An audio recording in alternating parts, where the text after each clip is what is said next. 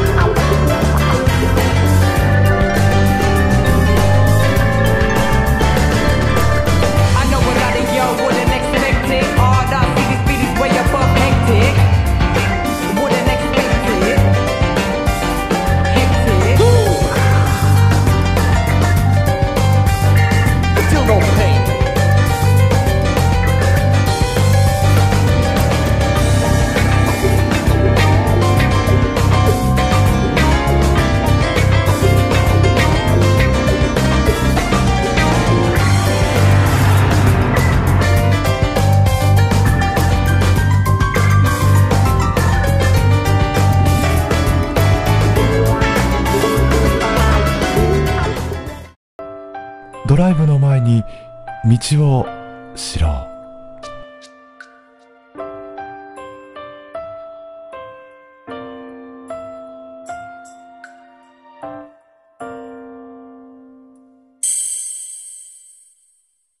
人生は一方通行の道である。バーナード・ベレンソン。